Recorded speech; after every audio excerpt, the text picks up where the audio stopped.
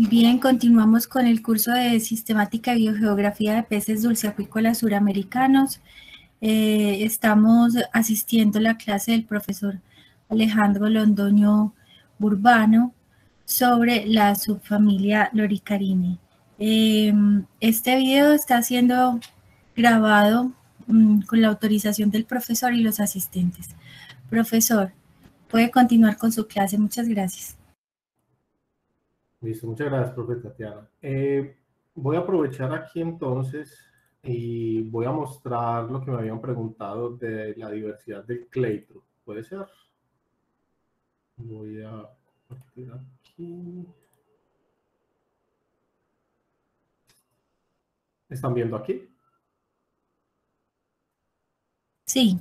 Listo. Eh, para responder un poquito lo que me habían preguntado de la diversidad del cleitro, esto es, es esto hace parte de la, mm, del artículo que publicamos a comienzos de este año con Roberto Reis. Entonces aquí vemos los seis cleitros de seis cinturas eh, pectorales, perdón, seis cinturas pectorales de seis géneros diferentes. Pues tenemos Rineloricaria, Sturizoma tictis, Sturizoma, Parlohuela, Artiela y Hartia. Como pueden observar, la, principal diferencia que se puede observar, y que, que podemos ver en el cleitro, entonces son esas, eh, el formato, la forma de la parte anterior de, del cleito. Entonces pueden ver aquí que es redondo, aquí es como en este ángulo con, con una, un proceso pequeño aquí, unos, unos, grandes procesos aquí, otros más laterales, totalmente recto o más o menos curvo. Entonces, lo que hemos encontrado, en, lo que encontramos en este estudio también fue que este tipo de diversidad tiene una señal filogenética. De hecho, eh, algunos géneros presentando estas cinturas eh, pectorales tan características sirven como soporte filogenético y sirven como sinapomorfía en caso de monofilia. No sé si eso responde un poquito a la pregunta que me habían hecho.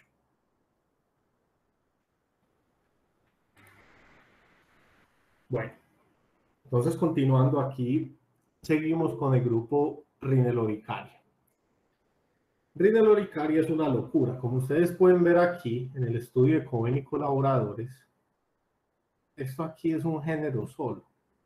Obviamente aquí tenemos una especie que son SP tal cosa, otras cosas que son CF tal otra, pero esto aquí no, no está eh, lejos de la realidad de la diversidad de Rineloricaria. Entonces, ¿qué pasa con Rineloricaria? El género más diverso a nivel de especies en Loricanine, 67 especies válidas. Está distribuido en todos los lugares. Pues. Está desde el norte al sur, del este a oeste, y no tenemos una revisión taxonómica del género porque es que eso es un, es un trabajo colosal. Y la, la, la morfología de estos individuos, de las especies de este género, es muy conservada. Tienen, tienen diferencias principalmente algunas veces en coloración entonces aquí vemos un ejemplo, es ese Rineloricaria yurupari. Tiene una coloración muy diferente de, de, la coloración, digamos, entre comillas, estándar, que son las bandas transversales a lo, a lo ancho del cuerpo, ¿no? Pero realmente la, la, morfología no nos dice nada para la distinción entre especies. Entonces, ¿qué pasó con este género?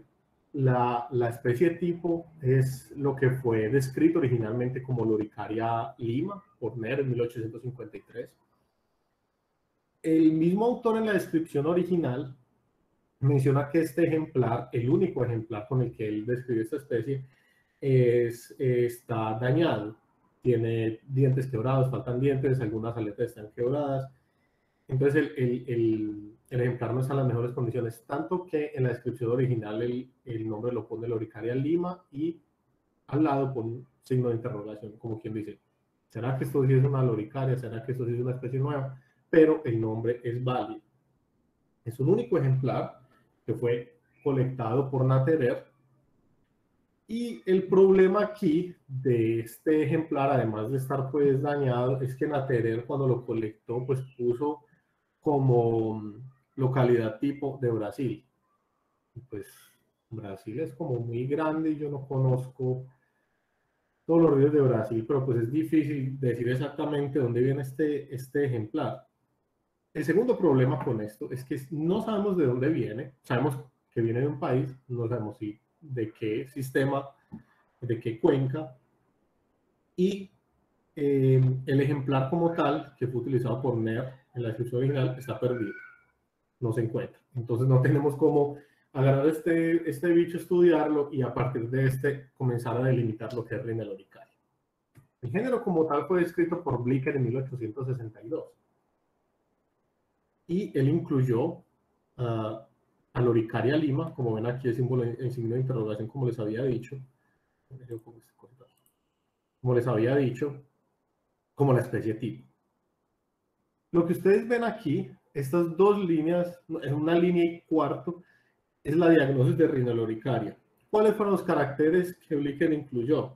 Presencia de odontoides bien desarrollados en los lados de la cabeza, región supraoccipital y predorsal. Posición posterior de la aleta dorsal. Dientes cospicos en ambas mandíbulas y área abdominal cubierta por placas. Pues a mí me salen con esto y yo digo, es cualquier cosa dentro del oricarini hasta de algunas cosas del, orica, del. Entonces, ya comenzando con esos dos problemas, tanto del, del, ejemplar perdido, de la localidad tipo que no sabemos qué es, y la descripción de género, pues esto, esto, comienza con el pie izquierdo. ¿Qué tenemos el día de hoy? La diagnosis del género que tenemos el día de hoy es a partir de un estudio que realizó Fishberg y Chamon en 2008, que fue una descripción de una especie nueva, Rineloricaria oswaldoi. ¿Qué dicen las autoras? Las autoras dicen, bueno, Rineloricaria se puede distinguir de los demás géneros por presentar una muesca posorbital, labio inferior con papilas pequeñas y redondas, una premaxila con 7 a 15 dientes, dientes del, del dentario bien desarrollados, fuertemente bicúspides y que son mayores que los dientes del premaxilar. La región dorsal del cuerpo con estas bandas transversales que ustedes ven aquí, oscuras. Un abdomen con, con, placas y una placa anal bien desarrollada, siempre eh, con estas tres placas eh, alrededor de ella. Entonces, listo, tenemos estos, estas características, pero de nuevo, son características muy generales. Como les digo, Rineloricaria es una, es, es, es una cosa muy complicada porque se han descrito muchas especies y realmente uno, uno agarra una rineloricaria y uno sabe que es una rineloricaria. Ya soy rineloricaria, pero la especie es muy difícil. Esos bichos, tanto por fuera como por dentro, son muy conservados morfológicamente. Otro problema que tenemos son los diversos géneros que han sido descritos en una, intentando, eh, digamos, limpiar un poquito y como dar, dar como una dirección a la taxonomía del género. Entonces, en, en 1862, Blicker también describe Miloricaria, en el mismo estudio de Miloricaria. La única diferencia entre esos dos géneros del mismo autor es el dimorfismo sexual que se encuentra en el Miloricaria. Es lo único. Y siempre se asumió Emiloricaria como sinónimo junior de Rineloricaria. Ahora, el problema es que Brooker y colaboradores en 2001 eh, revalidaron Emiloricaria y esto fue seguido por Ferraris en, 2007 en el catálogo de siluriformes utilizando la especie tipo Emiloricaria caracasensis, localidad tipo Caracas, Venezuela. ¿Cuáles fueron los otros dos eh, intentos? En ese mismo estudio, Disbrucker y colaboradores en 2001 describieron este género con eh, utilizando Rineloricaria rupestris que fue descrito por Schultz en 1944, y describiendo Leliela heteróptera. Opa, esto aquí está mal, esto aquí sin, sin Horrible esto. Y fue eh, incluida Rineloricaria heteróptera como la especie tipo. ¿Cuáles fueron los principales caracteres para, para eh, diagnosticar Fonkictis y Leliela? Caracteres de dimorfismo sexual y coloración coloración sirve, pero la, sobreposición que muestra todo lo que los autores eh, definen como Fonkictis y, le, y Leliela con Rineloricaria es muy grande. Un cuarto género que tiene un problema es Ixinandria. Ixinandria fue descrito por Isbrucker y Nixon en 1979 y la definición del género fue eh, odontodes, bien desarrollados en los lados de la cabeza y a lo largo del cuerpo, y un abdomen totalmente desnudo y ausencia de placa Esa es la definición de ixinandria. Con, con estos tres siempre hubo problemas, con hemiloricaria, con, con fonquitis y con leliela. Siempre hubo problema, todo el mundo siempre decía, esto es rineloricaria, esto, esto, es, esto no es diferente a rineloricaria. Y sin Andrea, eh, por lo general, se, se, encontraba como un género bien diferente. Sin embargo, como y colaboradores en 2016, en el análisis pues, que hemos hablado tanto aquí, es, esta parte es esta aquí. Ellos incluyeron la especie tipo Ixinandria, que es Steinbachii, Rineloricaria pteroptera, que es la especie tipo de Leliela, y Rineloricaria uracanta, que es la especie tipo de Fonquitis. Y como pueden observar, las tres especies se encuentran bien dentro del clado que es rineloricaria. Sí, perfecto. Todo bien que eh, rineloricaria está dividido en muchos grupos. Esto es como para facilidad de una, una cierta facilidad de la taxonomía, eh, eh, dividir por regiones, digamos, o por tipos de, de, especies, por ejemplo, grupo rineloricaria lanceolata, por ejemplo. pero los autores entonces encontraron que tanto Ixinandra como Fonquiloricaria y Leliela eran de hecho Rineloricaria y eh, los pusieron como sinónimos Lo que estaba hablando de la, de la morfología tan conservada se puede evidenciar perdón, en, estas, en estas dos hipótesis. La de Rapidani de 1997 y la de Fishberg en 2008. Como pueden ver, eh, Rapidani incluyó varias especies de Rineloricaria, pero no hay nada resuelto. Aquí es una gran politomía y obviamente cabe resaltar que ambos, ambos estudios fueron hechos con, fueron realizados con evidencia morfológica. Y como pueden observar aquí entonces, sí, Rhineloricaria es un grupo monofilético, de hecho, pero las relaciones dentro, las relaciones interespecíficas, no están nada resueltas. Entonces eso nos muestra, los principales caracteres que muestran las dos autoras son de huesos. Y aún los huesos que muchas veces salvan vidas pues en la taxonomía o en la sistemática, aquí no, no nos ayuden mucho. No voy a decir que nada, porque se recuperan algunos grupos, no totalmente resueltos, pero se recuperan algunos grupos, pero no tenemos una definición real entre especies. Pues, ¿qué pasó en 2015? Costa Silva y colaboradores dijeron, bueno, pues entonces metámosle molecular a esto. Ellos hicieron un estudio, ellos incluyeron, eh, hicieron taxonomía integrativa, entonces utilizaron morfología, utilizaron esta, este criterio MYS que para em, delimitación de especies y este BIN, que BIN es lo que se llama Barcode Index Number, que es lo que utilizan em, como identificación en el sistema BOL. Entonces ellos utilizaron los datos que existen allá en el sistema BOL para realizar otro, otro análisis con barcode. Y encuentran estos cuatro patrones diferentes, como pueden observar aquí. Entonces, ellos qué dicen? ¿Qué dicen? Si estas tres cosas eh, eh, agrupan eh, una especie solamente, entonces tenemos lo que ellos llaman de full match, que sería el patrón, el, la unidad taxonómica operacional A, que es el verde. Entonces tenemos aquí que ellos encontraron varias especies en realidad que con, las tres, eh, con los tres criterios ellos encontraron que era una especie solamente, eso ya es un avance gigantesco. Más también tenemos uno que, por ejemplo, hay conflicto, entonces tenemos estos tres casos. Conflicto, diferente morfológicamente, entonces tenemos lo que es el B, que son estas azules. O sea, son diferentes, pero la, la molecular no me está diciendo que son eh, diferentes. O que no, son, eh, no se pueden identificar morfológicamente, pero concuerdan en la molecular. Ah, entonces tenemos el C, que son estos rojos, pocos. O que simplemente ni la morfología ni la molecular nos ayuda, este, este amarillo. Entonces, ¿por qué les quería traer este estudio? Es muy importante ver em, el impacto que tiene la combinación de, las dos evidencias, tanto la morfología como la molecular, son súper importantes y especialmente en estos grupos que son tan difíciles de llegar a una, conclusión taxonómica. Y como pueden ver, aún utilizando estas, estas herramientas, Rineloricaria está lejos de ser eh, totalmente eh, resuelto. No totalmente, pero por lo menos parcialmente resuelto. Entonces, ese es un género que, hombre, si alguien se lo echa al hombro, yo creo que solo es difícil. Y aquí es una cosa que ya es una cosa como personal que, que no sé, me, me gustaría decirlo y, algo que me gustaría que todo el mundo como que eh, pensara siempre, la ciencia y la investigación es de, mm, es de colaboración. Entonces, si yo voy a coger este género solo, pues eh, eh, es darme un tiro en el pie porque, porque yo solo, ¿cómo voy a coger un grupo tan grande y yo solo voy a tener? No, tiene que existir una colaboración entre grupos de, investigaciones, de investigación, entre investigadores. Pues obviamente un, trabajo de estos, se unen varios investigadores, va a ser mucho más fácil y el resultado va a ser mucho mejor. Entonces, eh, eso ya fue como un discurso aquí, no sé por qué salió. Pero bueno, es eso.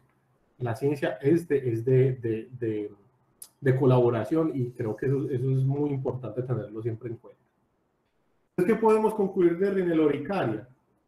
Pues que los caracteres que tenemos tanto de NER como del estudio de Fishberg y Chamon son detallados, pero son válidos para casi todas las especies del género.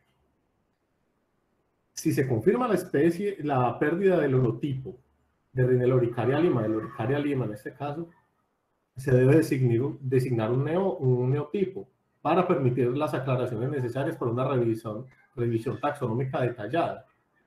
Y se debe también hacer un estudio histórico de ir atrás de cómo fueron las colectas de Naterer, a ver cuál es la localidad tipo de esta especie. Y eh, solo eh, empeora la situación con la morfología externa y la amplia distribución de este gen. Entonces, Rineloricaria, a pesar de ser un de ser un género característico porque da para percibir qué es una rineloricaria, los límites entre especies todavía falta muchísimo. Y tenemos estos tres grupos entonces eh, que pertenecen a la oricarini, pero no pertenecen a ningún grupo. Daciloricaria, Fonquiloricaria y Metaloricaria. Daciloricaria, este grupo, está, este género eh, descrito por Brucker y Nixon en 1979. Aquí vemos la distribución del género totalmente transandina, por esta parte de los Andes. Fue descrita eh, incluyendo estas cinco especies, filamentosa, seminuda, latiura, capetensis, tuirensis, y esta aquí es la especie tipo, Loricaria filamentosa, que sería de Loricaria filamentosa, descrita por Steindagner en 1879 para el Bajo Magdalena. La descripción es excelente y los dibujos son excelentes. Son eh, muy generales los, las características, pero permite una identificación de la especie. Y en, este estudio, en 1979, además de ser la descripción del, del, del, género, Brucker incluye a Daciloricaria dentro de la subtribu Rineloricarina eh, con Ixinandria Rineloricaria y Spatoloricaria. ¿Cuál es la única, cuál diagnosis que ofrecen los, los, los autores? Que Daciloricaria se distingue del resto de los loricarina, o por lo menos de los de rina loricarina, por eh, la organización de las placas abdominales, que es en dos filas, parecido a lo que vimos en loricaritis. Y eso se quedó así. En 1979 tuvimos la distribución del género y eso se quedó así. En 2016, en, en, en colaboración con Roberto Reyes, publicamos entonces la revisión taxonómica y una filogenia del género y encontramos que en realidad Daciloricaria cuenta con tres especies válidas. Daciloricaria filamentosa, que cuenta con Daciloricaria seminuda, sinónimo junior. Daciloricaria latiura, que cuenta con Daciloricaria capetensis y tuidensis como sinónimo junior. Y una especie nueva que encontramos en el estudio, Daciloricaria pausisquama, y que está distribuida para el río Magdalena y el río Opa, perdón, para el alto y medio río Magdalena. Las otras dos especies, Daciloricaria latura está en el río Atrato y río Tuira, en Colombia y Panamá, y Daciloricaria filamentosa en el río Magdalena y el río Sino y lago de Maracaibo, en Colombia. Entonces, eso es lo que tenemos de diversidad en, en. Y la posición filogenética, lo que tenemos pues entonces es, eh, a partir del estudio de Rapid Daniel, ella eh, solo tuvo acceso a un ejemplar en alcohol, y ella dice que sí, que de hecho parece un género diferente, perteneciente al Loricarini, pero ella lo incluyó en este clado espatuloricaria radinoloricaria. Y en el estudio eh, publicado en 2016, eh, confirmamos o em, evaluamos la monofilia de Daciloricaria, lo encontramos como un grupo monofilético dentro de este clado con Rineloricaria espatuloricaria. Estas relaciones eh, intergenéricas pues no, no, no se deben llevar muy al pie de la letra porque como pueden ver la muestra no es muy amplia. Lo que queríamos eh, evaluar principalmente era la, la monofilia y pues eh, encontramos un grupo monofilético como tal. Sin embargo, pues entonces Cobain encuentra a Siloricaria como grupo hermano de Fonkiloricaria, eh, como eh, hermano de los otros Loricarina, como mencionado por ellos, y nosotros en el estudio 2021, comienzos de este año, lo encontramos aquí dentro de Loricaria. Fonkiloricaria es un género escrito por Rodrigo Ortega y Cobain en 2011. Ese, ah, eh, fue el último género que se describió dentro de Loricarina hasta el día de hoy. E incluye solamente esta especie, Fonkiloricaria nanodon, del río Guayagá, en Perú. Y eh, muestra una posición medio, es intermediaria en, eh, dentro del Loricaria. Entonces, ¿cómo definieron los, los autores este género? Uno a tres dientes premaxilares, no sé si se alcanza a ver aquí, son muy pequeños, uno a tres dientes, ausentes en la mayoría de los individuos, según los autores, o reducidos en tamaño cuando son comparados con el dentario, que aquí yo creo que se alcanza a ver que son un poco mayores. Los labios tienen, el labio inferior principalmente tiene papilas eh, como circulares, globulares, eh, y estos filamentos aquí muy cortos en, la, en el borde inferior del labio eh, inferior. Una, mm, el abdomen está totalmente cubierto por placas. La aleta caudal tiene 12 radios ramificados, que esto es eh, característico de Farlowellini. Eh, presenta, eh, no presenta muesca posorbital, que también es característico de Farlowellini. Tiene una placa preanal, que es característico de Loricarini. Y el cuerpo del pedúnculo caudal, como ustedes pueden observar aquí, se vuelve más estrecho abruptamente, de acuerdo con los autores de las placas 7 a 10. Y esto es muy característico de un género de Hartini que se llama Hartia. Entonces lo que tenemos aquí un popurrí pues, de, de, de, cosas de uno del otro y eso es lo que ellos encuentran también desde un punto de vista filogenético. Este género tiene unas características de Farlowellini, de Lore Carini, de Hartia, y ellos lo encuentran en una posición realmente intermediaria. Como pueden ver aquí, no está totalmente resuelto. Entonces, ¿qué dicen ellos? Pues vamos a mostrar aquí entonces un bootstrap de los, de, los análisis que hicimos para mostrar cuáles fueron las posiciones más eh, comunes en el que encontramos el género. Y eso es lo que ellos muestran aquí. Este que está así como en una línea más gruesas, entonces sería Ponquilorical. Como pueden observar aquí, de hecho se encuentra como un grupo diferente al resto y ellos asumen su posición como aquí dentro del Oricalini. Sin embargo, como ya les mostré con la morfología, este grupo tiene de todo. Entonces, es un grupo restringido. Yo personalmente no he visto un ejemplar de, este, de esta especie en vivo y en directo y sería muy interesante estudiar un poquito más a fondo qué está pasando con este género. Y Metaloricaria, estas dos especies, en Metaloricaria pauci y Sinixeni, que están restringidas a, las cuencas de los ríos en Surinam y en la, el escudo de las Guayanas. ¿Cómo se diferencian estos, estas dos especies una de la otra? principalmente por la coloración. Esta coloración en la especie tipo, Metaloricaria paucidens, y el, el, borde anterior de la cabeza, mientras que Metaloricaria nixeni entonces tiene estas bandas transversales. Brooker propone como caracteres diagnósticos entonces los dientes premaxilares reducidos y las estructuras del labio inferior que son diferentes a Hart. El autor solo lo compara con Hart. No hay estudios profundos de este género. Sin embargo, la misma eh, Rápida Daniela, ella dice, sí, este género es una cosa muy diferente a todo lo que yo he visto.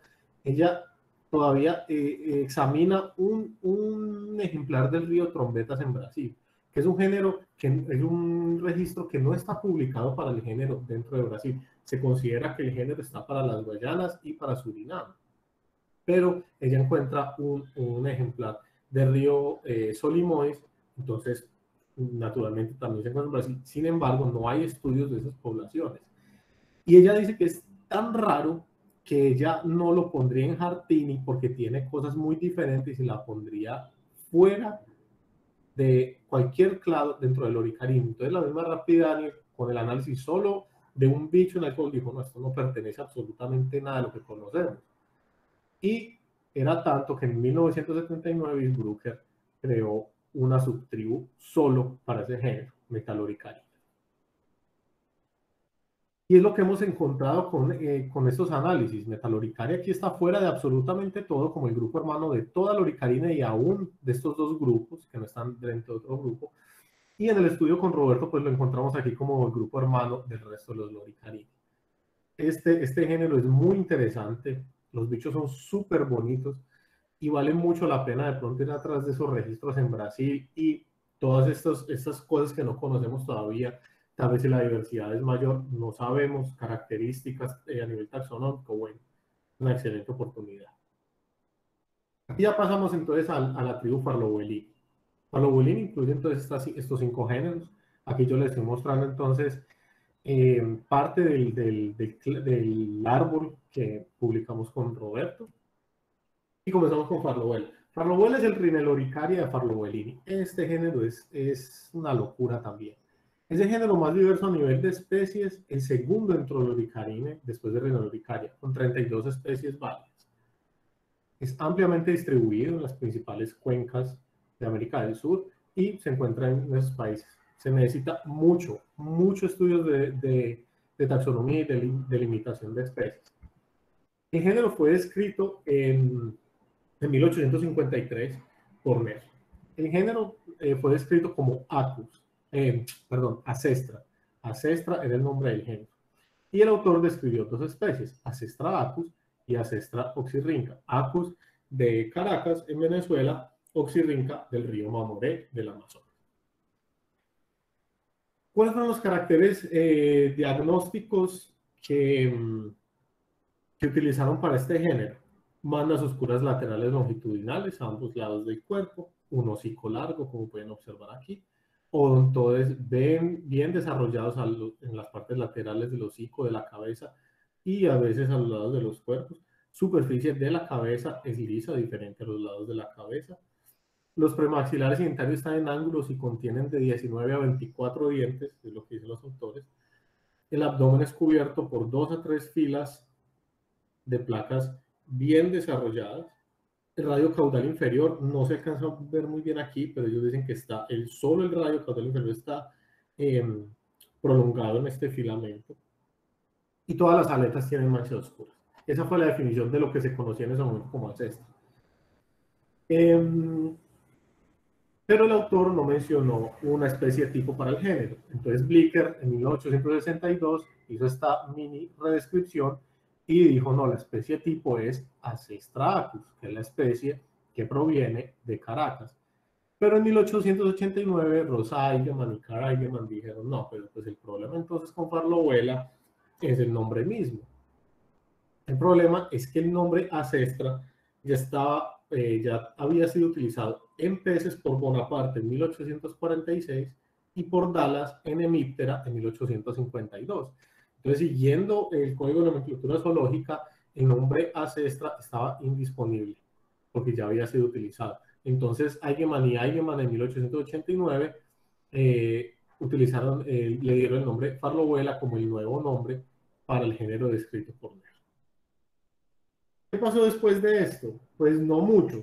Eh, hubo descripciones de especies nuevas, una que otra aquí, una allá principalmente por este estudio de Reagan de 1904, Eigenman y, y Vance en 1912. Este estudio de Martínez Salazar, que se enfocó principal, no principalmente, exclusivamente en las especies de, de Venezuela, las Farlowell, describió en total seis especies, esta subespecie pues es una especie. Y Bosman en 1971 eh, también eh, hace una breve discusión de la, del género recordando que los estudios de Bosman se enfocaron en peces de Surinam. Después de 1971 no pasó nada con este género, hasta 1996 cuando Redzer y Page describe, eh, realizan una, una revisión taxonómica. ¿Cuáles son los caracteres que los autores ofrecen? que Farlobuela se puede identificar por la presencia de esta, lo que ellos llaman de una cresta eh, preorbital, como la ven aquí, o más desarrollada aquí, bien característica de Farlobuela. La elevación de la órbita, que puede ser mínima, como observan aquí, o bien elevada, como pueden observar aquí. Proceso superior en el cleitro, como pueden observar aquí, y un desarrollo del coracoide, que es esta puntita que ustedes ven aquí. Puede ser muy desarrollada o ausente. La distribución de las, de las placas en el abdomen se puede observar como muestra aquí esta descripción de Valen y colaboradores, que puede ser eh, dos hileras completas con una interrumpida, dos completas y una placa aquí, o tres eh, hileras de placas, igual a lo que fue descrito por Red City Page, quienes también mencionan entonces el número de, de series longitudinales de placas, que pueden ser eh, cuatro o cinco, y sirve para identificar a nivel de especie. Además, pues de la coloración de la aleta caudal, como pueden observar aquí las variaciones. Los autores hicieron un, análisis eh, a partir de, creo que fueron 32 eh, caracteres de morfología externa y caracteres continuos, y utilizaron la posturizoma mirion como, digamos, la raíz, digamos, como la raíz de este análisis. Tenga muy en cuenta posturizoma mirion. ¿Y qué encontraron ellos aquí? Encontraron estos clados que ellos llamaron de grupos de especies, como pueden observar aquí en esta tabla. Entonces ellos determinaron que dentro de Farlobuela podíamos encontrar el grupo Curtirostra, María Elena, Natereti, etcétera, etcétera. Pero estas seis especies, como ven aquí, las relaciones no fueron eh, resueltas y él dice que son especies con relaciones inciertas, que son estas. Y eso es lo, lo que se conoce de la taxonomía como tal de Farlobuela. Rapidaniel y Provenzano incluyeron especies de Farlobuela en, los análisis de ellos. Grupo monofilético, de hecho, no cabe la menor duda. Pero es muy interesante entonces lo que pasó aquí también. Aposturizoma mirion aparece aquí como grupo hermano de Farlobuela y en este clado, aún con esa politomía, se encuentran en el mismo clado las especies de Farlobuela con Aposturizoma mirion. ¿Qué rayos es Aposturizoma mirion? Es un género descrito por Isbrucker, Britsky, Nixon y Ortega en 1983 y en, el, en la misma descripción original ¿qué dicen los autores? Que el nuevo género se parece externamente a Farlobuela y Esturizoma y posiblemente Aposturizoma puede representar un estadio, un estado intermedio entre estos dos géneros. Ellos dicen, sí, esto es, es un género nuevo, pero tiene una relación muy cercana con estos dos o con alguno de estos dos géneros. ¿Qué pasó en 2016? Que Cohen y colaboradores entonces incluye también a Posturizoma mirion en el análisis filogenético de ellos y lo encuentra em, incluido eh, dentro de lo que se considera Farlobuela. Y los autores discuten. Aposturizoma corresponde a una forma local de Farlobuela adaptada a hábitos reófilos. Ellos ya salen de lo que dicen en la descripción original de que es una forma intermediaria. No, es una forma local de Farlobuela y las características morfológicas de este género podrían ser adaptaciones a su hábitat, más que una forma intermediaria. Entonces, ¿qué dicen los autores? Hombre, lo estamos encontrando aquí. Esto quiere decir que esto es una farlobuela modificada. ¿Cuál es el problema aquí? ¿Qué es lo que discuten los autores? La taxonomía de farlobuela es un desastre. No sabemos qué está pasando ahí, no tenemos cómo identificar una cosa de otra. Tenemos, tenemos, tenemos herramientas, pero, pero hace falta, hace falta. Entonces dicen, ¿Qué podemos hacer aquí? Tenemos dos opciones. Con aposturizoma aquí, entonces farlobuela se nos vuelve una cosa totalmente parafilética. Entonces, si queremos mantener aposturizoma, entonces tenemos que mantener aposturizoma, farlobuela, el clado que contenga a farlobuela acus, que es la especie tipo, y el otro clado, eh, nombrar un género nuevo. ¿Cómo vamos a, a diferenciar unas farlobuelas de otras a nivel de género si a nivel de especie ni podemos. Muchas veces. Pues los autores dijeron, no, no tenemos cómo. Entonces vamos a dejar a posturizoma tentativamente como válido porque no sentimos que tenemos las herramientas para eh, proponer la sinonimia. Sin embargo, con Roberto encontramos de nuevo a posturizoma dentro del clave de Farlobuela y discutimos que externamente aposturizoma muestra un hocico corto y ancho y un cuerpo más robusto, que como afirman Cohen y colaboradores, podría ser indicativo de estos hábitos reófilos, que pueden ser el caso de Farlobuela curtirrostra, como pueden observar. El, el, el, rostro del hocico es corto, es ancho, el cuerpo no llega a ser tan ancho como en, en Miriodón, pero consideramos de que es eh, eh, perteneciente a Farlobuela. Dentro del mismo proceso de, evalu de, evaluación del artículo, los mismos evaluadores nos decían, hombre, esto ya ha pasado muchas veces, creemos, pues, es hora, es hora. Yo, yo sé, e, es, eh, el bicho es muy diferente, pero tenemos evidencias tanto morfológicas como moleculares para mostrar de que esto, de hecho, es una Farlobuela. Entonces, esto, esto es una especie que vale mucho la pena estudiar un poquito más, porque es restringida. No tenemos muchos registros de localidades diferentes, entonces sería bueno ver qué está pasando y obviamente pues Farlobuela como tal necesita urgentemente un estudio de todas las especies.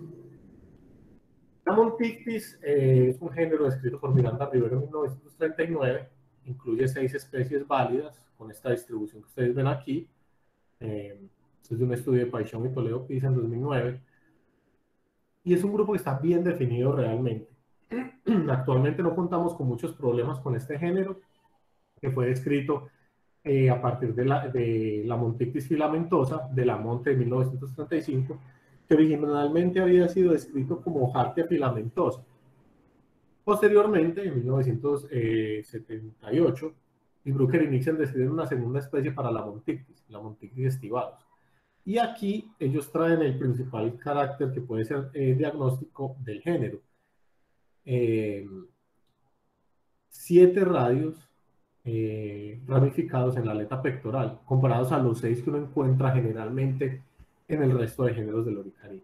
Esa es la principal característica que se conoce de la montictis, ya que en la descripción original pues no, es muy general, es corta y es muy general.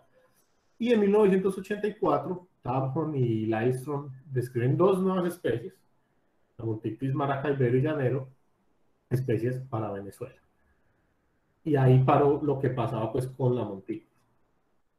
En, en los análisis de, de y Provenzano fueron incluidos eh, estos representantes, llanero para Provenzano y filamentos para Rapidaniel, y lo encontraron eh, como parte de este grupo, incluye a Hartia y eh, eh lo encontró como un grupo diferenciado como.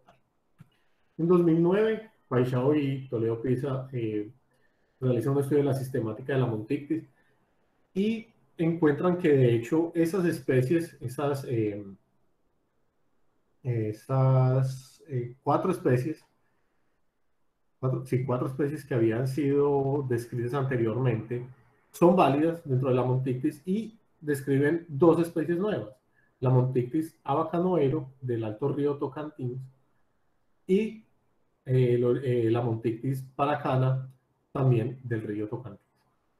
Eh, muestran varios caracteres que sirven para soportar la monofilia de la Montictis y realizan un análisis filogenético donde muestran que el grupo de hecho es diferente del resto y muestran estas relaciones.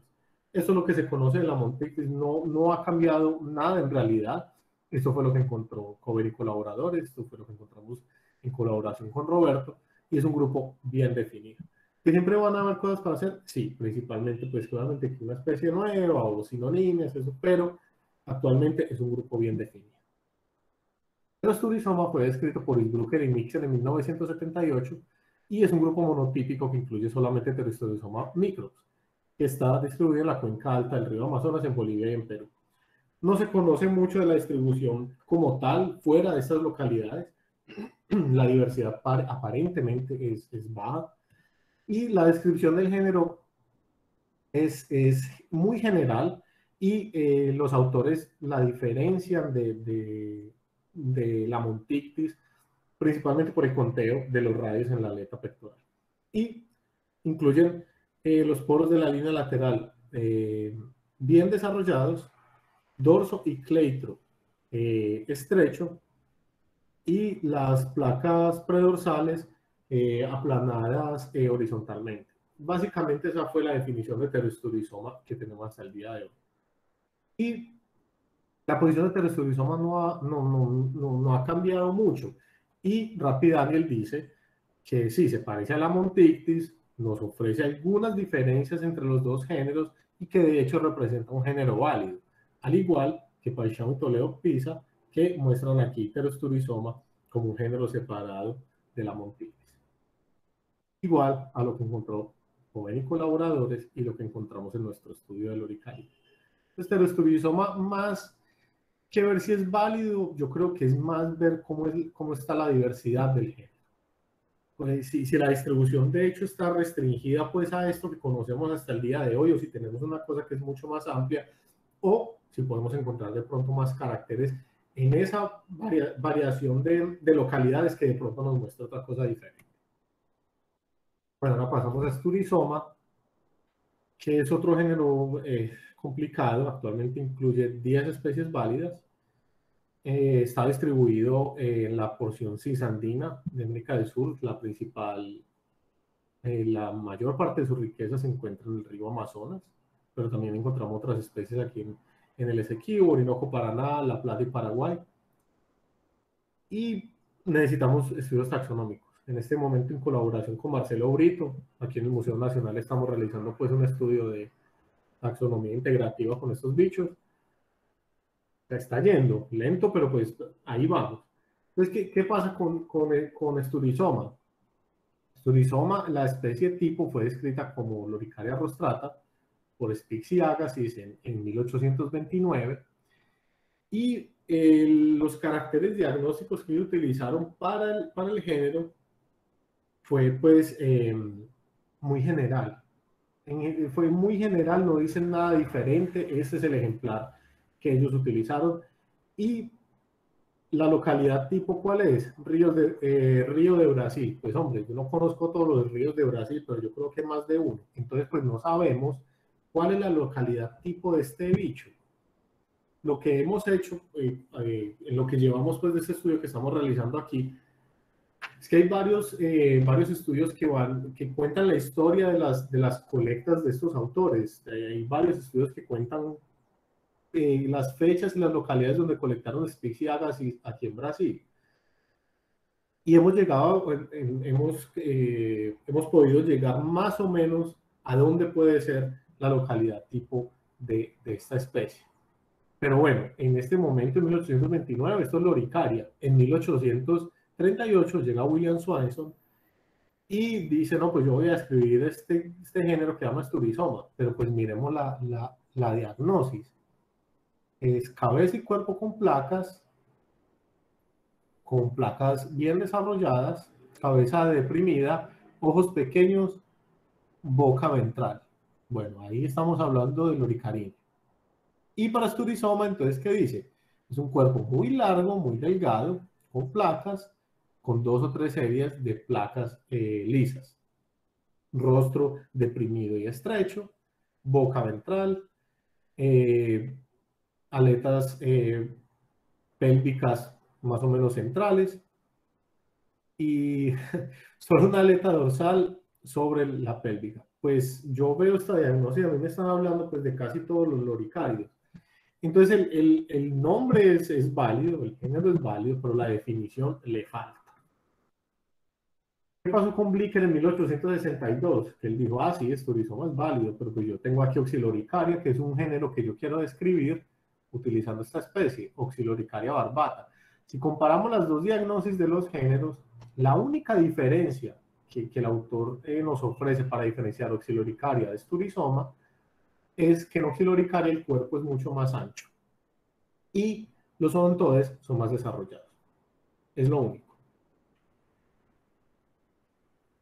y posteriormente, eh, Reagan en 1904 dice, no, es que Sturizoma es un nombre híbrido, por lo tanto no es válido y el nombre válido es Oxyloricaria. Y dice, Sturizoma y Oxyloricaria es lo mismo, pero el nombre válido es Oxyloricaria.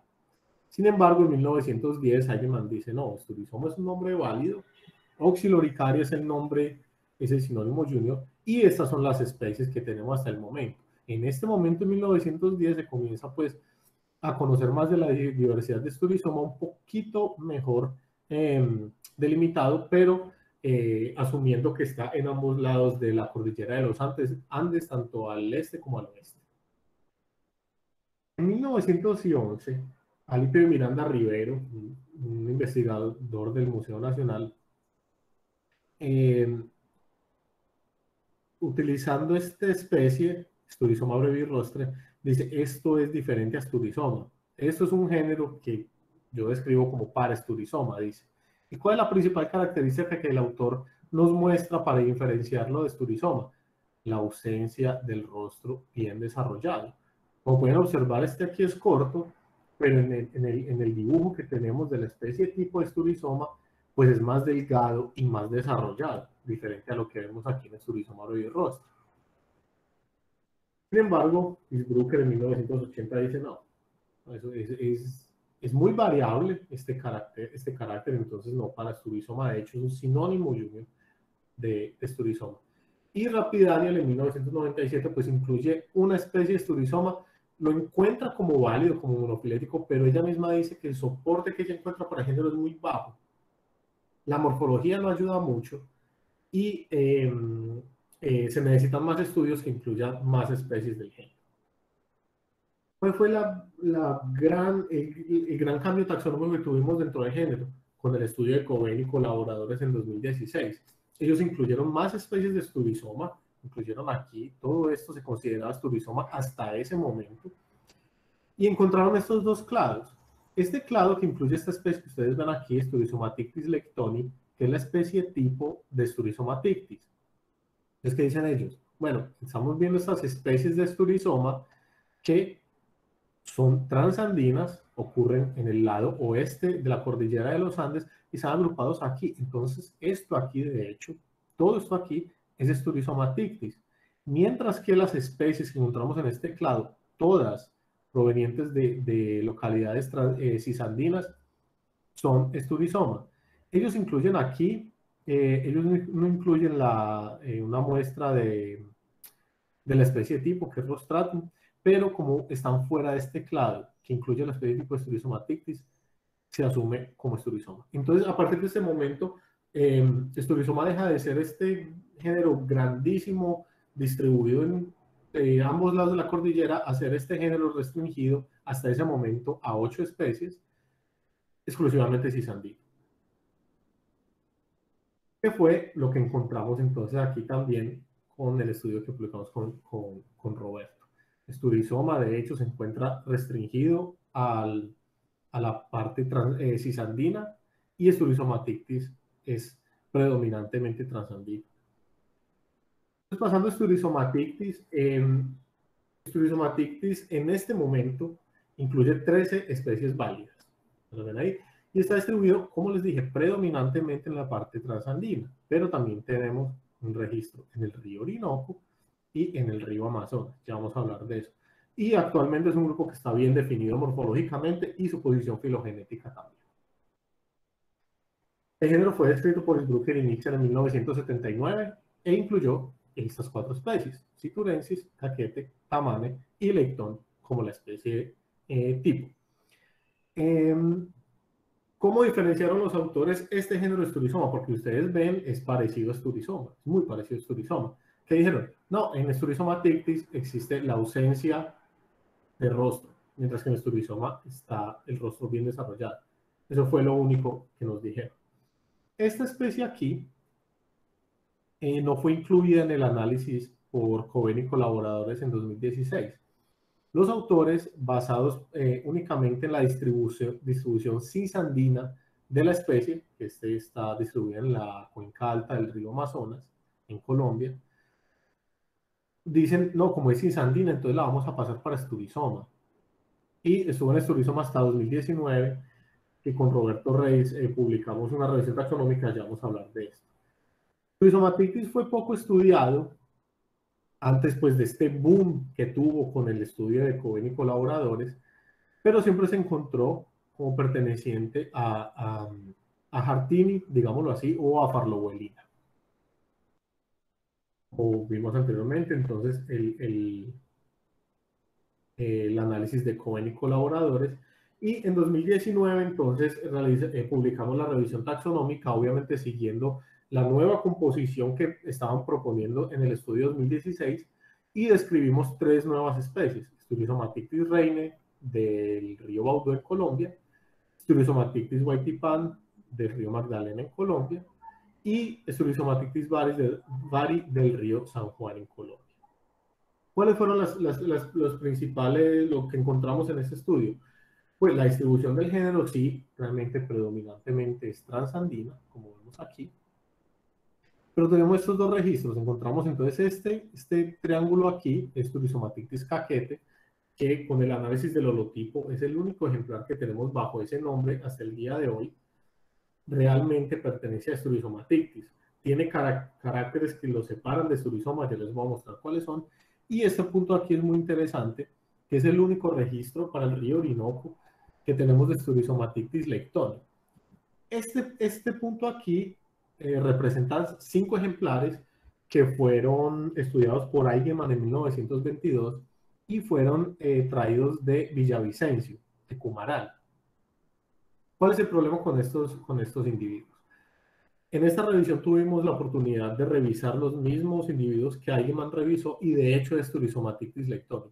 El problema es que como Ambruster en 2005 dijo, en un estudio de la Ciancistrus, él discute una especie de la Ciancistrus que ocurre aquí también, la Ciancistrus guacarote, que este, este local Villavicencio fue de, un flujo muy alto para, para comercialización de peces de, para acuaristas. Entonces, eh, llevaban y traían y volvían y vendían. Entonces, puede que esos peces hayan llegado ahí eh, por motivo de la comercialización. Y además, estos peces fueron colectados por Foro María, que la historia nos ha mostrado que las localidades del hombre no eran como muy exactas, digámoslo así.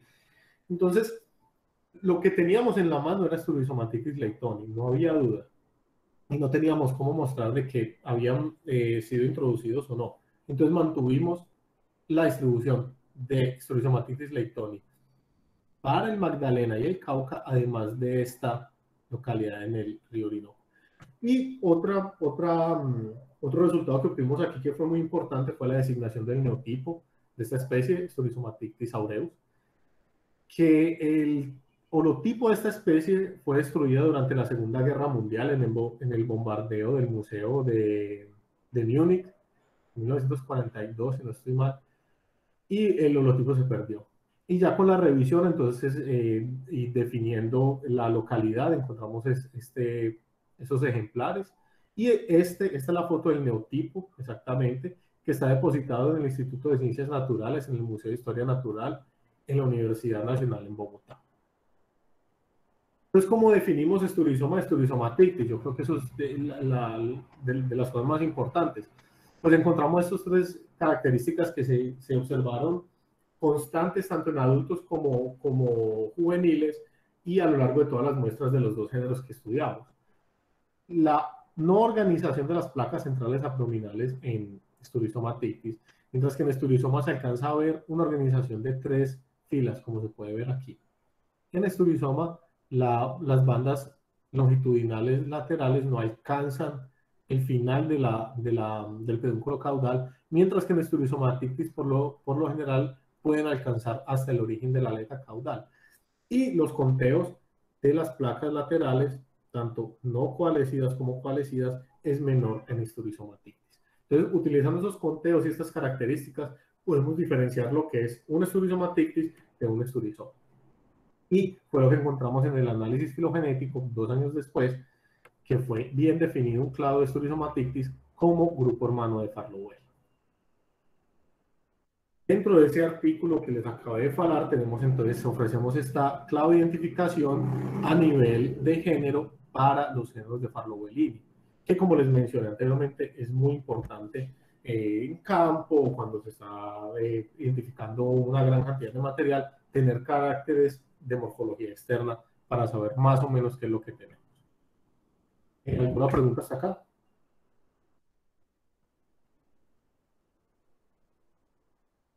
Bueno, seguimos entonces con Hartini.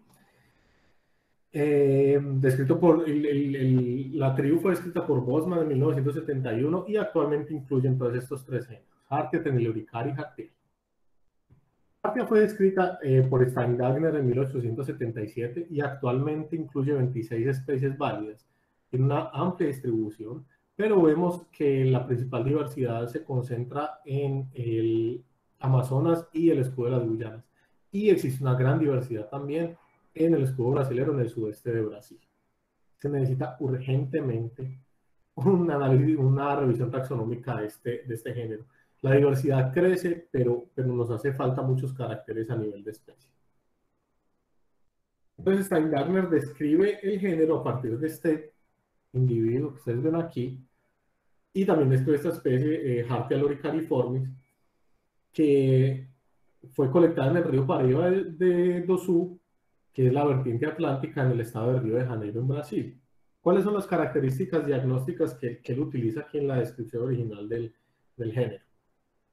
Cuerpo alargado, una aleta adiposa y quillas laterales ausentes. El cuerpo de, de, de Hartia por lo general es liso, aquí en las partes laterales del cuerpo. Y placas óseas alrededor del poro urogenital bien desarrollada. Esa es la definición de Hartia que nos da Steindagner en ese momento. ¿Qué pasó después de esto? Pues a partir de 1908, con la descripción de Hartia Cronei, hasta 1976, con la descripción de Hartia nisegni, solo hubo descripciones de especies nuevas de, nuevas de Hartia. Entonces comenzaron a acumular una mano de especies hasta llegar a 1976 y teníamos 10 especies válidas dentro de Hartia. Solo que Hartia no estaba bien definido. ¿Qué dijo Isbrucken? No, aquí toca hacer algo entonces. En su estudio en 1979, agarró esta especie y dijo, no, Hartia caquete en realidad pertenece a mi género Sturizomatictis. Hartia mixeni en realidad pertenece, pertenece a mi género Metaloricaria. Y así, Hartia microsparateris storizoma, Crassicauda para Hartiela y filamentosa para la montitis. Entonces redujo el, nombre, el, el número de, de especies a 5 y lo restringió a esto y el resto pues a otros géneros que él mismo describió otros que ya habían sido descritos. Esto fue una excelente contribución a lo que conocemos de, de Hartley. Solo que el problema es que ahí paró otra vez en 1979 y volvemos a saber de Hartley en, 1993. Oyakawa describe cinco especies nuevas para la región sudeste de Brasil y ofrece una, una clave de identificación para esa región. Una excelente contribución porque estábamos conociendo mucho más de la diversidad de género y unos años después, en 2001, Lucia y Caldas Olivera, entonces muestran que en, en, esta región, la región Amazonas, Guyana, hay siete nuevas especies de jarte. Una de ellas, Hartia eh, guianensis.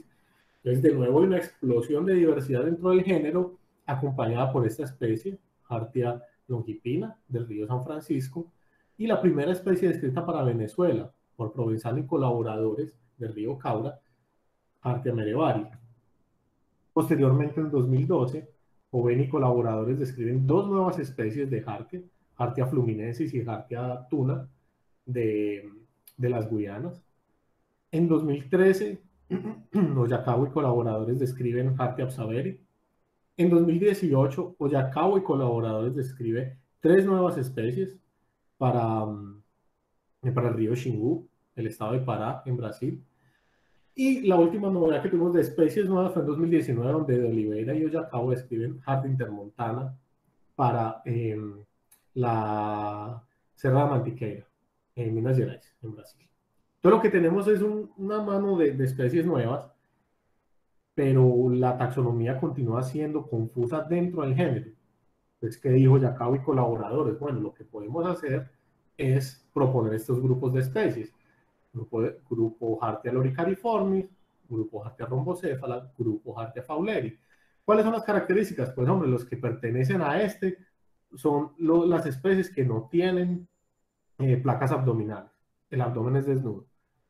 Los del grupo rombocéfala, entonces, parcialmente cubierto, y los del grupo fauleri totalmente cubierto.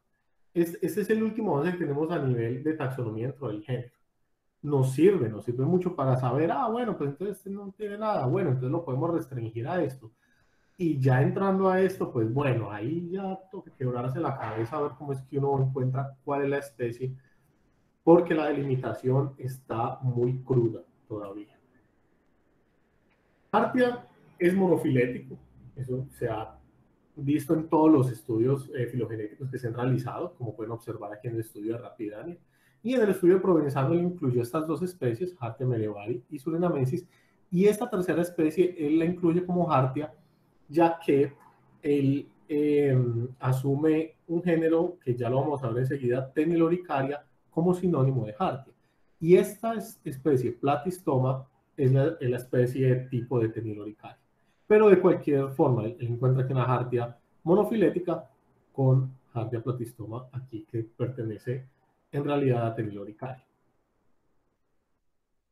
Parecido con lo que pasó con Rineloricaria, pero a una escala menor, que intentó hacer Isbrucker y colaboradores en 2001. Hombre, aquí es una cosa diferente. Y describió el género Kiritixis, donde utilizó este, esta especie Hartia leiopleura que fue descrita por Oyakawa en 1993 como un género nuevo. ¿Cuál fue el carácter diagnóstico? Pues yo no sé si lo alcanzan a ver aquí. Son todos eh, a lo largo del cuerpo bien desarrollados, largos, y esa es la característica de Critixis. Pero Cohen y colaboradores en 2016 incluyeron entonces muestras de lo que es Hartia leopleura y la encontraron eh, como parte de Hartia. Entonces, Kiritixis eh, volvió de, ser válida a nuevamente ser, a, no nuevamente, a ser eh, sinónimo junior de Hart. Y este, este, este, este clado es, es, bien interesante porque tanto en este análisis que hicimos con Roberto, como en el análisis de Cohen y colaboradores, se encuentra este clado. Ustedes ven aquí Fluminensis, Urinamensis, eh, Tuna guianensis, es este clavo aquí bien soportado como grupo hermano del resto de Hartia. Y aquí también tenemos guianensis, Tuna fluminensis y surinadensis, como el grupo hermano del resto de Hartia. ¿Cuál es la característica de esto? Bueno, que estas cuatro especies se encuentran distribuidas eh, en el escudo de las Guayanas. Se podría pensar que puede ser un género nuevo. ¿Cuál es el problema? De nuevo, la taxonomía básica del género. No tenemos cómo diferenciar muchas veces entre las especies, es difícil. Ahora, ¿cómo vamos a diferenciar algo que podríamos llamar de un género nuevo? No tenemos cómo. Una vez que la taxonomía de Hartia sea, mm, no sé, no sé si la palabra es como limpiarla o bueno, no sé, hacer algo con la taxonomía, se puede comenzar a pensar en qué está pasando con este clavo. Lo urgente ahora es la taxonomía, pues, como tal, dentro de la Aquí ya pasamos entonces a Teniloricaria, incluye dos especies válidas, Teniloricaria platistoma, que es la especie tipo, y Teniloricaria napova, que fue descrita por Cohen y colaboradores en 2012. Este género está restringido al escudo de las Guayanas, a Surinam, y existe un registro de esta especie en Brasil, como fue eh, expuesto a comienzos de este año en un estudio que hicimos de esta especie con Marina Mendoza y Roberto Reyes. Eh, falta un poquito, o sea, lo que, con el estudio que, que, que, publicamos este año, dimos un, un, pequeño paso adelante, pero creo que, hace falta conocer mucho de la diversidad de este, de este género. El género fue descrito entonces por Isbrucker y Nixon en 1979 quienes incluyeron entonces Teniloricara platistoma como la especie tipo y también incluyeron Teniloricara fauleri y maculata como eh, congéneres de, esta especie. En 1980 el mismo Brucker dice no, Teniloricara fauleri en realidad no es Teniloricaria, pertenece a Hartia y esto se mantiene hasta el día de hoy, al igual que Teniloricaria maculata. En 2012 los autores de este estudio, jóvenes y colaboradores, revisan el material tipo de maculata y el material tipo de platistoma y dicen, no, esto es exactamente lo mismo y lo ponen como sinónimo. Entonces, a partir de este estudio en 2012, Teniloricaria eh, iba a ser un género monotípico, pero dentro de este mismo estudio, los autores describen la otra especie para tener dos en total. ¿Cómo se diferencia Teniloricaria de Hartia? Principalmente se diferencia por esto. Eh, la coloración de la aleta caudal. En Teniloricaria muestra esa coloración, un tipo de media luna aquí. En Hartia son manchas y una mancha aquí en la base de la aleta caudal. En, en Hartia se observa lo que les he hablado ya varias veces, la punta del hocico en la cabeza es desprovista, no tiene placas, es desnuda. En Teniloricaria es todo cubierto por placas. Y como podemos observar aquí, el formato la forma del labio superior es diferente, recta en teniloricaria, y las placas eh, en la parte del cleitro están siempre presentes en teniloricaria. Siempre está así y se puede diferenciar de las jartia que están totalmente eh, con abdomen cubierto por placas por el tamaño de las placas anteriores y centrales que son menores en teniloricaria. Aquí les muestro la distribución del género. Esto que ven aquí, los puntos negros y los círculos, es lo que se denomina teniloricaria platistoma. Y estas estrellas, la blanca y la roja, son las dos localidades conocidas para teniloricaria platistoma. Esta es la localidad tipo, es en, el, en la frontera Brasil-Surinam. Y ese es el nuevo registro eh, que mostramos a, a comienzos, hace unos meses, de Teniloricaria napova de la cuenca del río Curva en el estado para eh, en Brasil. La posición de Teniloricaria no, no cambia mucho. Eh, como y colaboradores lo encontraron como, como grupo hermano de este clado Jarquia Jartiela. Y con Roberto, en el sur con Roberto, pues lo encontramos aquí como hermano de grupo hermano de Jartia. Es un grupo, pues, hasta el momento que es bien definido. Y finalmente, eh, que fue escrito por Bosman en 1971, incluye siete especies válidas y está restringido a las eh, cuencas de ríos costeros de las Guayanas y Surinam. Se necesita mucho un estudio de limitación de especie en este género. Las especies son muy parecidas y es difícil identificar una de la otra. La especie tipo es esta, este bichito aquí, Artea crassicauda, que fue escrito por Bosman en 1953 pero el género fue descrito en 1971 y el mismo Bosman fue quien la describió y utilizó Hartia crassicauda como la especie tipo. Este es el tipo de la especie. Entonces, como pueden ver, las principales características son el tamaño de los individuos, es muy pequeño, el, el cuerpo todo está cubierto por entonces bien, bien desarrollados, no es como Hartia, que es un cuerpo liso, es un cuerpo más... Eh, lleno de odontoides más, más, más fuerte y la, la, la, cabeza es, es más, más estrecha, más pequeña. Y en 2012 eso se quedó así, en 1971 Hartiela se quedó así hasta 2012 que tuvimos este estudio de Cohen y colaboradores que describió seis especies nuevas, que son las que vemos aquí. Si ustedes observan, pues la morfología no cambia mucho, pero los caracteres que eh, dijo, ofreció Bosman como diagnósticos, pues se mantienen en estos, en estos individuos. ¿Cuál es el problema con esto? Este mapa es pequeño, yo sé, pero si ven aquí, los símbolos rojos pertenecen a las siete especies de Jartiela. Y si ven, esos puntos rojos están restringidos aquí. Y como pueden no saber, pues esta área de las Guayanas y Surinam está siendo fuertemente impactado por extracción de oro. Pequeños ríos han desaparecido, ríos de mediano porte están en peligro los grandes ríos pues están yendo por el mismo camino. Entonces uno piensa en un género que es tan restringido como este, vamos a pensar por ejemplo en esta especie intermedia, aquí la intermedia, vean el punto donde se encuentra, es un único punto. Si este río aquí se va, pues chao la especie. Entonces es un género que desde el punto de vista de conservación es muy importante. Estas áreas son difíciles de colectar, pero si yo creo que si hay em, colectas adicionales, incluyendo más allá de la, de la, frontera con Brasil, entrando en Brasil, tal vez para acá, se van a encontrar registros para jartiela fuera del escudo de las Guyanas. Entonces, eh, obviamente el punto de vista taxonómico, lo digo a nivel personal, es muy interesante. A mí la taxonomía me parece mm, lo mejor, pues. Pero desde el punto de vista de conservación es muy importante, porque son especies muy raras y que están en un alto peligro. Entonces, esta es la principal contribución que tenemos de Jartiela, está definido por los autores principalmente por medidas corporales, el abdomen es desnudo, son pocos caracteres que tenemos para, para identificar y con la revisión que hicimos a comienzo de año vimos que algunos de ellos eh, eh, se sobreponen mucho. Entonces, es un género que cuenta con muchas oportunidades para de pronto entrar y, y estudiar más de ellos. Em, en el estudio con Raíz en, 2000, en este año, con este año, entonces encontramos también que este proceso, en esta placa que les hablé allá al comienzo, el proceso es bien desarrollado y en forma de punta, esto es súper característico de Jartiela. Y encontramos entonces las otras características de Bosman, eh, se encuentran también eh, en todas las especies de género. La posición de Jartiela no cambia también dentro de Jartini, aquí como grupo hermano de Jartia, y aquí lo encontramos como grupo hermano de estos dos clavos.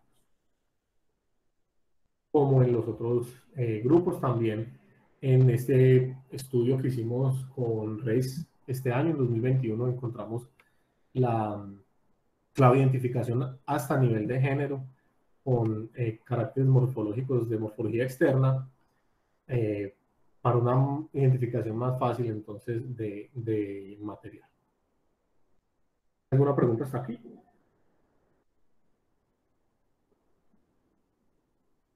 Bueno, aquí, esta es la última parte. Ya estamos acabando esto ya cinco minutos y ya les voy a mostrar por qué.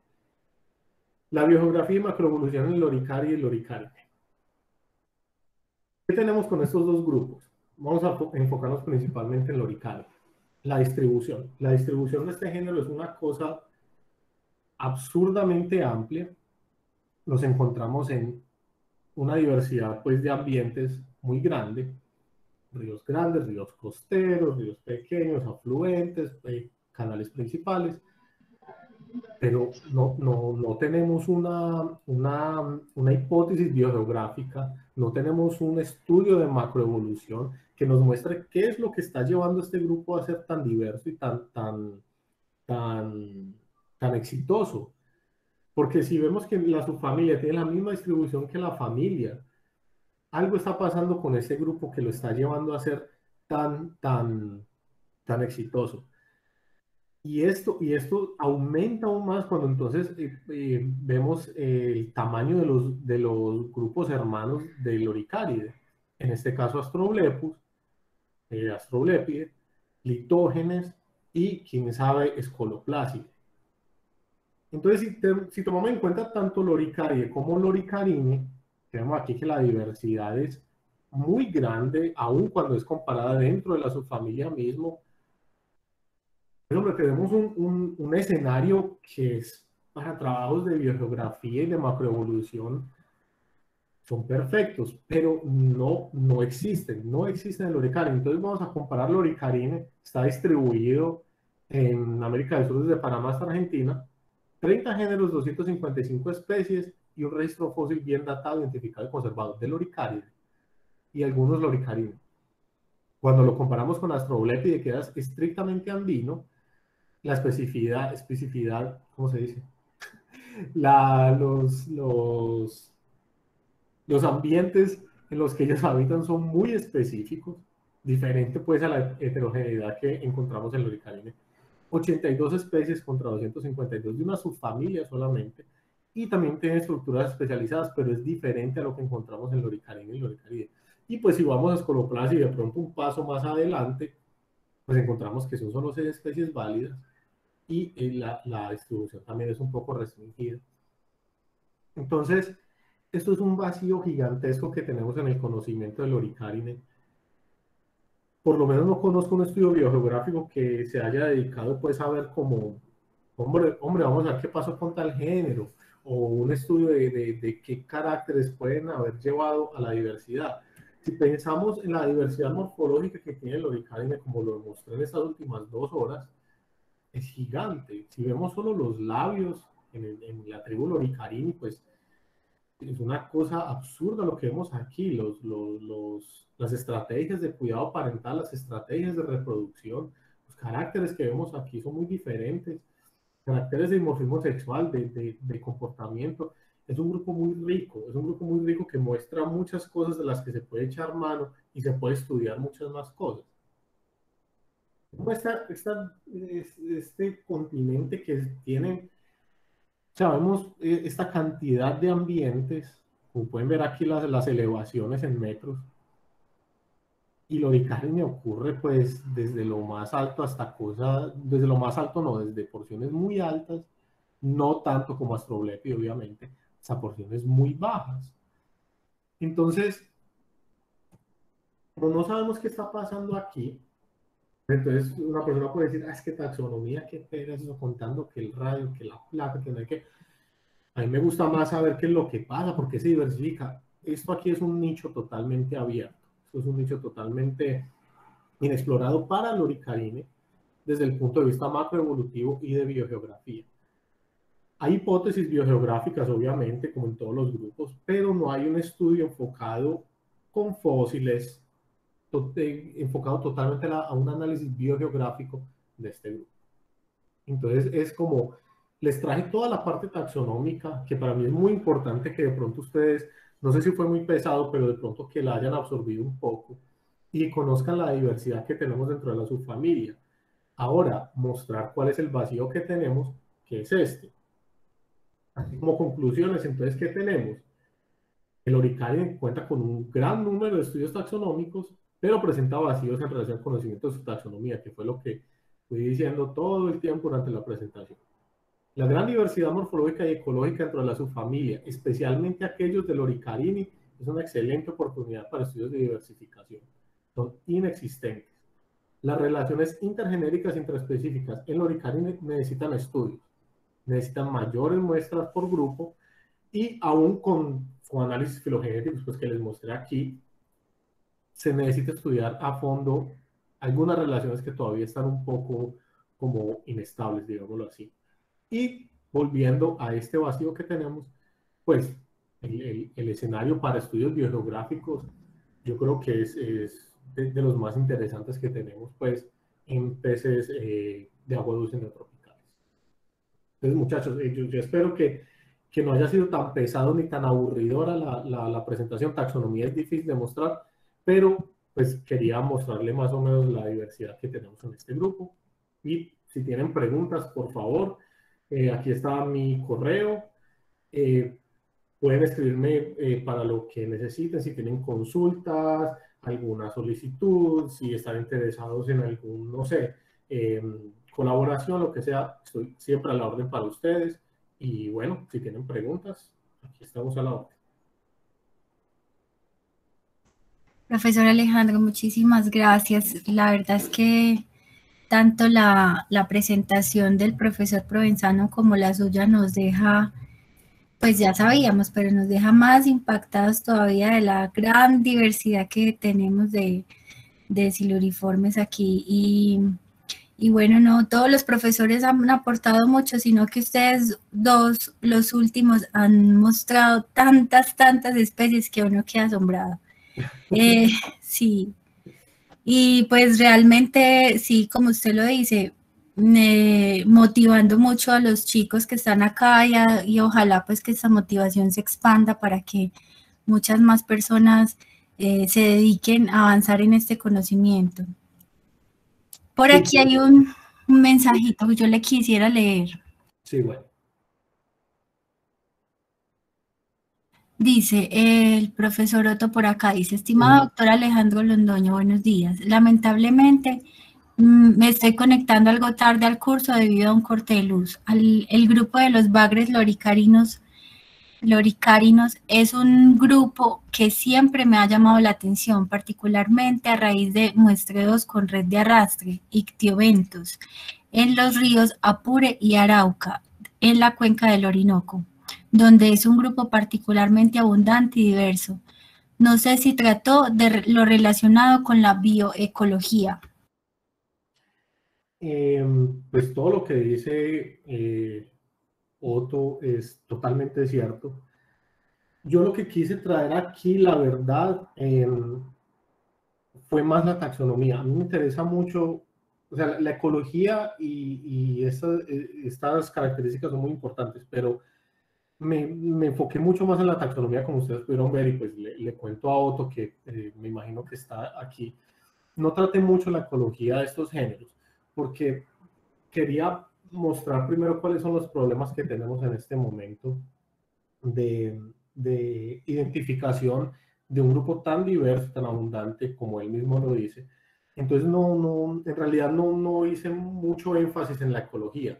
Traté de, traer em, comportamientos, por ejemplo, relacionados con el, la reproducción de estos grupos, pero sí quería más eh, como dejar un poquito ilustrado el panorama a nivel taxonómico y sistemático de este grupo. Por aquí eh, continúa el compañero Otto, dice, de este grupo, pero particularmente veo que hay una escasez de información a este respecto, particularmente en lo relacionado con la reproducción y la alimentación. La morfología de las bocas de las especies es altamente variable, lo que indica una aparente especialización en sus dietas. No sé si esto es así. Generalmente se afirma que se trata de peces que se alimentan de detritus o algas asociadas a los fondos, pero he observado que muchas de estas especies tienen una dieta insectívora, incorporando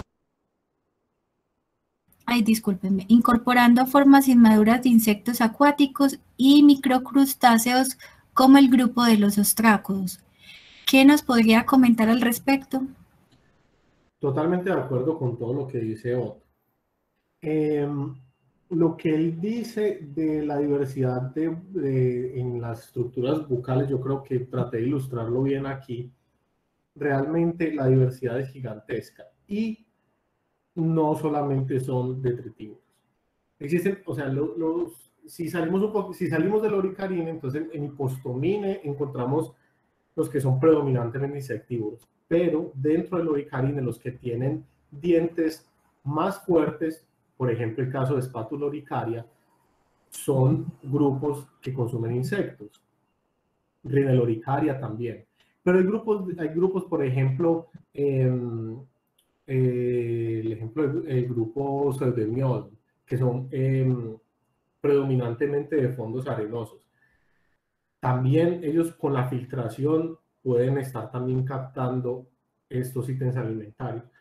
Entonces, estoy totalmente de acuerdo con lo que dice eh, Otto, la diversidad que muestra este grupo principalmente, como yo les mostré en las últimas diapositivas, ese, es un hilo, es una forma de decir, es un hilo de que uno puede como jalar para ver qué está pasando por ahí, porque es que tenemos un grupo denominado Loricarini en este momento, que es el más diverso, y es una locura de, de, diversidad de labios, de filamentos, de dientes, de estructuras mandibulares. Y es, y es muy, muy interesante para empezar a ver eh, cómo se formó esa diversificación y por qué es que ese grupo es tan diverso y tan exitoso. Entonces, todos esos aspectos que trae Otto, eh, totalmente de acuerdo y, totalmente cierto.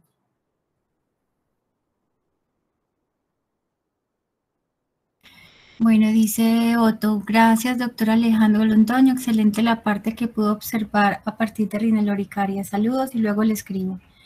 Por aquí también hay muchos agradecimientos y hay otro mensaje de Gabriel. Pregunta, ¿qué se sabe del género planiloricaria? Bueno, planiloricaria, pues planiloricaria como tal, eh, los bichos como tal, es un género monotípico, solo conocemos una especie, planiloricaria cryptodon. Es muy característico, la cabeza del bicho es gigantesca, pero así, eh, además de eso, no se conoce mucho. Sabemos que es un género válido porque en muchos de, las, muchas de las, muchos de los análisis filogenéticos que se han hecho y se ha incluido la especie, aparecido como un grupo eh, soportado y diferenciado del resto, pero no tenemos conocimiento, por ejemplo, eh, importante lo que, lo que dijo Otto, no se conoce mucho de la ecología de estos bichos, no se conoce mucho de la diversidad porque se conoce solo de la localidad tipo, que la localidad tipo, como dije también ahí cuando hablé del género, es inexacta. Entonces conocen más o menos, más o menos dónde es que ocurren las poblaciones de este género. Entonces es un género que tal vez es difícil de, de estudiar por la escasez que tienen colecciones, pero como dice por ahí, pues y que, que no, ¿cómo es que, que no llora, no mamá? Una cosa así dice.